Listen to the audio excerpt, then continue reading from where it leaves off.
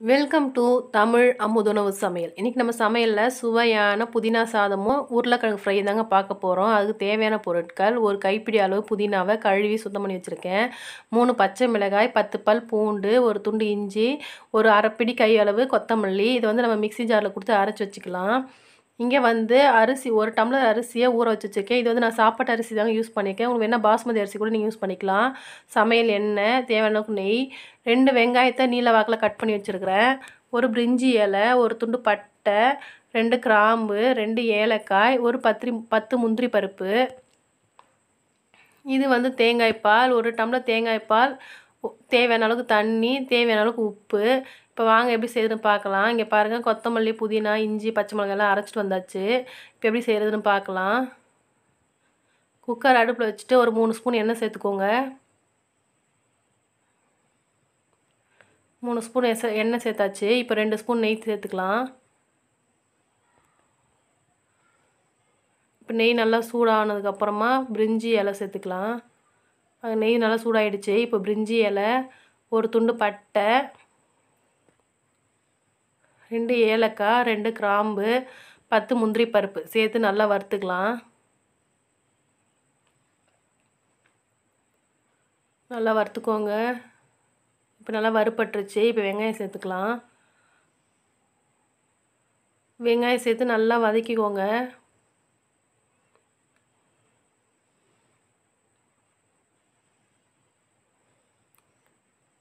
நல்லா வதக்கிக்கோங்க. நல்லா வதங்கிருச்சு. இப்போ வந்து நம்ம புதினா அரைச்சி வச்ச பேஸ்ட்டை சேர்த்துக்கலாம்.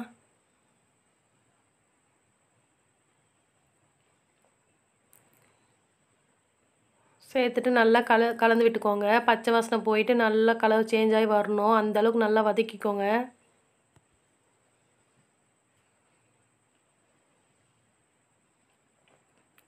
பாருங்கள் கலரெல்லாம் நல்லா மாறி நல்லா சுருண்டு வந்துருச்சு. எண்ணெயெல்லாம் பிரிஞ்சு வருது. இந்த அளவுக்கு நல்லா வதக்கிக்கோங்க. இப்போ வந்து அரிசி சேர்த்துக்கலாம்.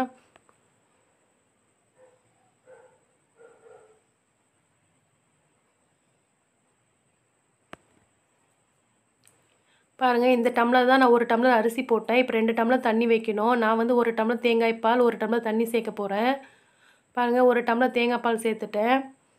இப்போ ஒரு டம்ளர் தண்ணி சேர்த்துக்கலாம்.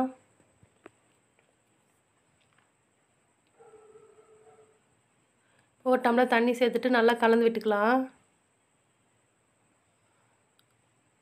நல்லா கலந்து விட்டுக்கோங்க.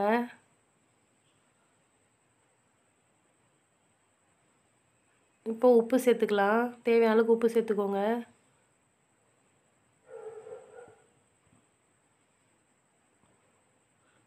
தேவையான அளவுக்கு உப்பு சேர்த்துட்டு அதையும் கலந்து விட்டுக்கோங்க.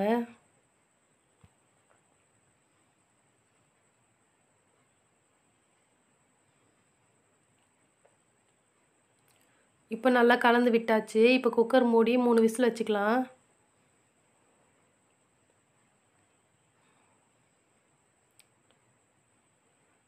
இப்போ குக்கர் மூடியா மூடியாச்சு. மூணு விசில் வரட்டும். மூணு விசில் வரதுக்குள்ளே நம்ம ஒரு உருளைக்கிழங்கு ஃப்ரை பார்த்துடலாம். உருளைக்கிழங்கு ஃப்ரைக்கு தேவையான பொருட்கள். இங்கே வந்து பார்த்திங்கன்னா நாலு உருளைக்கிழங்கு வேக வச்சு தோல் உரித்து இந்த மாதிரி ஸ்கொயர் ஷேப்பில் கட் பண்ணி வச்சுருக்கேன். சமையல் எண்ணெய் வெங்காயம் ஒரு வெங்காயத்தை வந்து நல்லா பொடியாக கட் பண்ணி வச்சுருக்கேன். கருவேப்பிலை மிளகாய்த்தூள் கடுகு உப்பு மஞ்சள் தூள். இப்போ வாங்க எப்படி செய்யணும்னு பார்க்கலாம். ஒரு கடாய் அடுப்பில் வச்சுட்டு தேவையான அளவுக்கு எண்ணெய் ஊற்றிக்கோங்க எண்ணெய் சூடானதும் கடுகு சேர்த்துக்கலாம். எண்ணெய் சூடாயிடுச்சு. இப்போ வந்து நம்ம கடுகு சேர்த்துக்கலாம்.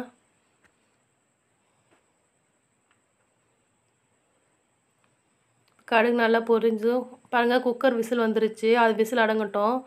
இப்போ கடுகு பொரிஞ்சிச்சு. கருவேப்பிலை சேர்த்துக்கலாம். இப்போ மிளகாய் தூள் சேர்த்துக்கலாம். மிளகாய் தூள் கரிஞ்சிடாத அளவுக்கு சேர்த்துக்கோங்க. அடுப்பு நல்லா சூ அடுப்பு வந்து ஸ்லோ பண்ணி வச்சுக்கோங்க. இப்போ அரை ஸ்பூன் மஞ்சள் தூள் சேர்த்துட்டு நல்லா கலந்து விட்டுக்கலாம். மிளகாய் தூள் கரிஞ்சிடாத அளவுக்கு வறுத்துக்கோங்க. பாருங்கள் இந்த அளவுக்கு கலர் மாறிடுச்சு. டக்குன்னு நம்ம வந்து உருளைக்கிழங்கு சேர்த்துடலாம். உருளைக்கிழங்கையும் சேர்த்துட்டு நல்லா கலந்து விட்டுக்கோங்க. நல்லா கலந்து விட்டாச்சு. கொஞ்சமாக பெருங்காயத்தூள் சேர்த்துக்கலாம். பெருங்காயத்தூள் சேர்த்து நல்லா கலந்து விட்டுக்கோங்க.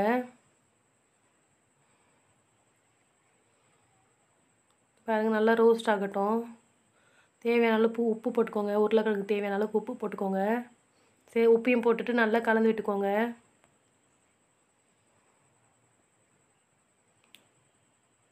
பாருங்கள் பாருங்கள் நல்லா நல்லா வந்து வெந்துருச்சு. எல்லாம் நல்லா ஒன்று சேர்ந்து வந்துருச்சு. இப்போ வந்து ஒரு வெங்காயத்தை பொடியாக கட் பண்ணி வச்சுருக்கேன். அதை வந்து நல்லா உடச்சிட்டு சேர்த்துக்கோங்க. பாருங்கள் இந்த அளவுக்கு உடச்சிட்டு சேர்த்துக்கோங்க. இப்போ நல்லா கலந்து விட்டுக்கோங்க. வெங்காயம் வந்து ரொம்ப வதங்கக்கூடாது. ஓரளவுக்கு வதங்கினா போதும். அப்போ தான் உருளைக்கிழங்கு நல்லா டேஸ்ட்டாக இருக்கும். ஓரளவுக்கு வதக்கிக்கோங்க.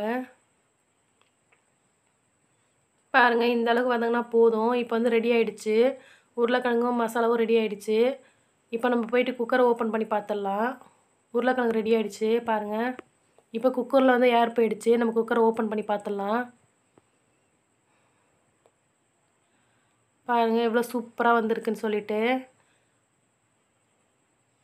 சாதம் குழையவே இல்லை. நல்லா உதிரி உதிரியாக வந்திருக்கு பாருங்கள் பாருங்கள் எவ்வளோ சூப்பராக வந்திருக்குன்னு சொல்லிட்டு. அவ்வளோதான் சுவையான புதினா சாதம் ரெடி ஆகிடுச்சு பார்க்கவே எவ்வளோ நல்லா இருக்கு பாருங்கள் அவ்வளோதாங்க சூப்பரான புதினா சாதம் ரெடி ஆகிடுச்சு பாருங்கள் பார்க்கவே எவ்வளோ நல்லா இருக்குன்ட்டு. சூப்பரான புதினா சாதம் உருளைக்கிழங்கு ஃப்ரை ரெடி ஆகிடுச்சு நீங்களும் உங்கள் வீட்டில் ட்ரை பண்ணி பாருங்கள் தமிழ் அமுது உணவு சமையலை சப்ஸ்கிரைப் பண்ணுங்கள் லைக் பண்ணுங்கள் ஷேர் பண்ணுங்கள் கமெண்ட் பண்ணுங்கள் தேங்க்ஸ் ஃபார்